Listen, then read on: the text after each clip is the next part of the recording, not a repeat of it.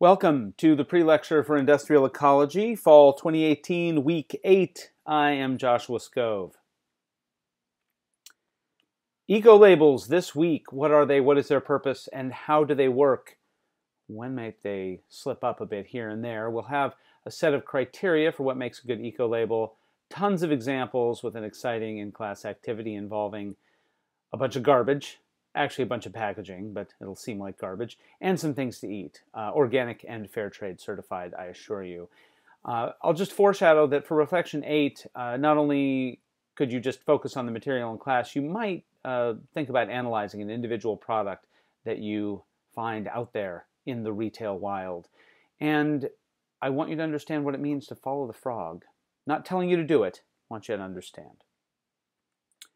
So this week's basic idea, a market-based solution, right? We're talking about consumers. So we have a series of major problems linked to consumption. We've spent a little bit of time on those. But consumers claim to care. They often seem to care. So we should examine the market-based fixes that are out there and specifically eco-labels. But we'll want to think critically about that. But it is that series of items, that logic that leads to the notion of eco-labels as a potential tool for change. So how do eco-labels work? Simple version, people care. So when products show up that have true claims uh, that match what people care about, people buy those products and thereby support the solutions. So there might be a little bit more to this. So let's step through it. So you have better environmental and social performance. We'll spend a little bit of time what we mean by better, but assuming it's solving some of these big problems. And then there are consumer-facing claims about that performance, claims, information, ways to connect with consumers. And as a result, consumers buy the products based on those claims that we are assuming for now are true. So that that's basically it. Those are the fewest steps that we can disaggregate this process into. It's the better performance upstream, that consumer decision downstream, and the mechanism in between that connects them. So this mechanism may exist and function, but we want to examine what makes it work and where it might break down. In no case do we want to take it for granted. So I will uh, draw this distinction between eco-labels versus mere claims. And this is what I'll want you to grasp. These are going to be two ends of a spectrum, and we might find ourself, ourselves uh, locating points in between. So just be prepared for that. So when I say eco-label, uh, I will mean some sort of certification. Sometimes people will say a mark or a certification mark. It will be a claim or set of claims based on a set of standards. Uh, there's typically some independent process for verifying performance, i.e. that the standard has been met. Usually, there's a distinctive proprietary way of making the claim in a consumer-facing setting. This is typically a logo or a word uh, or some combination thereof. And ideally, uh, this label meets certain principles. And we're going to look at these greener choices criteria in some detail. Uh, that will be a, essentially a standard for these standards. So that's a one end of the spectrum. At the other end, we have mere claims that are not eco-labels. No clear set of standards, no verification or certification, and probably not even what is called in the US regulated commercial speech. We'll say more about that in class. But the basic idea is words you can't use, uh, you know, by law, you, you may not use unless you are doing certain things that, uh, that that speech then communicates. So two quick notes. In all cases, I want you to try to make the connection between the performance claim and solutions to major problems. In other words, these are not separate from the rest of the topics we've looked at in class. These are, you know, big pivot and state shift and, uh, you know, climate crisis uh, topics still. And also, uh, subtly, claims are not necessarily lies, and eco-labels, on the other hand, do not necessarily address important truths. So we'll want to uh, be able to assess the presence or absence of a mechanism that meets the criteria that we look at, but those aren't the only types of communication that will matter. Uh, so we will want to think a little more deeply of that, at that as well. So, eco labels, uh, issues and examples you're on the hook for. Uh, you see all of this in the materials on Canvas. We have some general background. Uh, the Triple Pundit article, I think, nicely sums it up, and the Greener Choices framework starts to give us a way to assess things. Organic Rainforest Alliance and Forest Stewardship Council are the ones we'll look at that have some credibility, but also here and there, maybe some issues, more for some than others. And then natural, we'll want to talk uh, about why it is so problematic uh, and why it is ubiquitous. But of course, its ubiquity is part of what makes it problematic. And in all cases, I really hope you'll be able to explain the general appeal that a label makes to consumers, also the underlying rationale for it, and where applicable, uh, Greener Choices assessment of the label. In other words, uh, how well does it do? So the framework, let me hop through it quickly. We'll talk more in class. Uh, we want uh, labels to be meaningful, and what they really mean is that there's a set of standards uh, that goes beyond the industry norm. Uh, we want them to be consistent. I'll just foreshadow here that we'll talk about B Corp, which is not an eco label, and want to understand why it it surely fails on consistency. It doesn't mean it isn't meaningful, but it may not may not meet this criterion under greener choices and uh, transparency, uh, which really relates to the guts of certification, you know, what's underneath uh, the label and uh, something about the organization itself. Similarly, independence will be about the relationships or absence of relationships that a certifying organization will have. And finally, public comment, which should make you think of GRI because it invokes the notion of getting input from multiple stakeholders and I'll want you to see these things working in tandem, these five criteria working in tandem uh, to deliver uh, something that works over time, that remains meaningful and accountable uh, to the people who use it. Uh, I'll tack on another. I don't know if this really deserves to be considered an additional criterion, but I think it. I think it deserves some discussion. I call it danger of the false halo, and that just means that uh, people make certain claims, and sometimes they even have certifications that imply falsely a breadth or depth that is not uh, entirely true. And we'll take a look at some examples of that in class. So the the versions of it, not won't go through examples here, but the versions of the false halo I want to call out are these two under the category of persuasion without meaning. Uh, I'll distinguish between stories and context and vibe and feel. I think you'll see what I mean when we look at examples of packaging. I think we've all seen this, experienced it, maybe even fallen victim to it. I would say that's the case for myself. Uh, virtue by association will be a distinct uh, version of false halo. Uh, but I'll want you to think about, uh, you know, whether you think that uh, that virtue by association is deserved or not. Uh, the meaning of it is, is going to be trickier.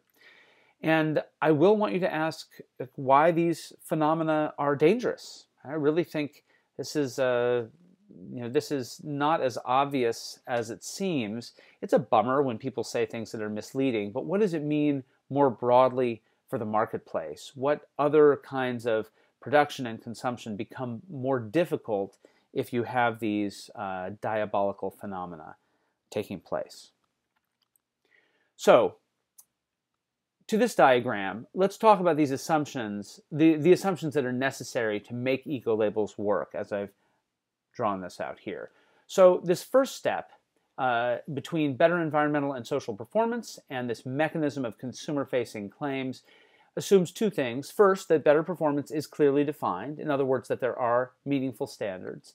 And second, that uh, the claims are true, in other words, that there's some sort of solid certification process. So that's how you get from the first step to the second. To get from the second to the third, we assume another few things. First, that consumers receive and understand the information behind the eco label, and also that they're not distracted by similar, less credible claims. Uh, in other words, the eco labels can't be going head to head with things that are similar that aren't as meaningful. And by implication, I would say that this tells us uh, or, or uh, by implication, this asserts that consumers can discern when the earlier steps are not functioning. In other words, uh, we're relying, at least to some extent, on consumers' ability to make sure that we've gone from the first step to the second. Uh, that those pieces related to standards and certification. And the greener choices criteria will give us a way to break down an individual eco label and parse it in uh, in some detail. Uh, so those are named there. Again, we'll we'll walk through them through them a little bit more in class. So I will, uh, as we get through this, want you to fill in the blanks here. I think this will be sort of annoying and obvious, but still kind of fun. Um, I do want you to walk away with this summed up in your brains. I don't want it to be just a, a soup of different material. Uh, I want you to I want you to have a have a clear sense of exactly what eco labels are trying to do. We will have an activity in class. We will eat some chocolate and examine the labels. I will try to have a wide variety of high quality chocolates so people aren't pinned down to other people's tastes. Uh, we will look at a handful of different labels, not just chocolate, a whole bunch of different labels, look at the greener choices criteria, and look at these other phenomena that I mentioned. And I'll have a few general questions that I'll hope you'll ask, and really about all certifications. Let me just mention a couple here how much does the success of, a, of sustainable business depend on the consumer? I think this is really the highest level question that we're asking here. Uh, I, I, think we assume that the market, that the consumer market, will reward certain performance, and I want us to pick away at that assumption a little bit. What are the tools for businesses to use to connect to consumers when they care, and the big challenges that the business addresses? I think you can ask this about an individual business and about whole sectors. And we'll want to understand whether we think those mechanisms really work. Uh, you'll see here in the penultimate sub-bullet, uh, what are we asking of consumers? I mean, I will wonder out loud in some detail whether we are asking too much, and I'll want to hear your thoughts on that. And finally, uh, what sort of new industrial ecology do these labels create? And I mean that both literally and metaphorically uh, from the, the versions of that term that we had earlier in the course. This seems to be creating a parallel production system, parallel production and consumption ecosystem uh, for certain products. And I want to hear what you think about that. So there are some important points of integration here worth calling out. Uh, we're going to uh, look at, uh, at those uh, briefly, but this is also great fodder for uh, your reflections.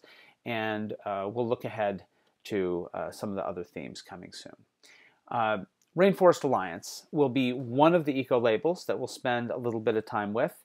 We say a few things about it here and we'll cover it in greater detail in class. I want you to try to decide is this the environment or is this about people?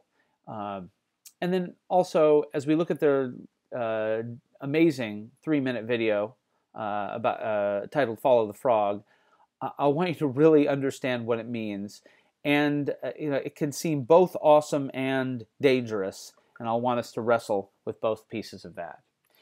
Uh, there is a critique out there, and I want you to take a look at it. Uh, you don't have to dig around for more critique or an update, but I just want us to understand that these systems, even when they seem pretty darn good, uh, are never going to be flawless. They're going to have problems over time, and we'll want to see an example of that and ask whether you know that's a fatal flaw or if it's just uh, you know part of the cost of doing business, and we need to have good ways to react.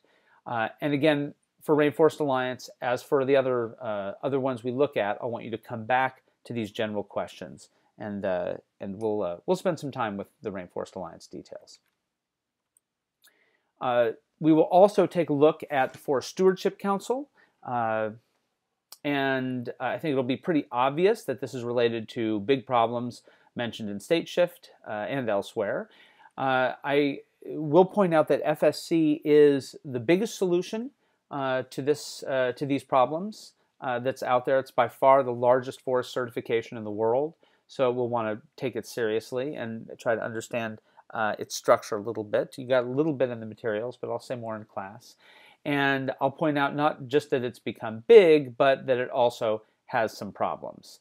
and we'll look at some uh, critiques, some critiques with very different tone from Greenpeace and FSC Watch. Uh, fun organizations to take a look at. Again, the goal is to understand strengths and weaknesses, not just to dump it uh, if it at the first sight of some problems. I think that's a challenge, but that's what we'll do. So uh, on FSC, I want to make sure that we distinguish uh, between these different uh, certifications, these different flavors of FSC uh, labeling that you'll see out there in the real world. Uh, we'll walk through the different criteria. Uh, some of these we'll spend a little bit more time on than others, and then we'll look at those critiques from Greenpeace and FSC Watch. Uh, I didn't mention it here, but we will, of course, look in detail at organic certification. You see that in the reading materials. That is it uh, for uh, this pre-lecture. Thank you. See you in class.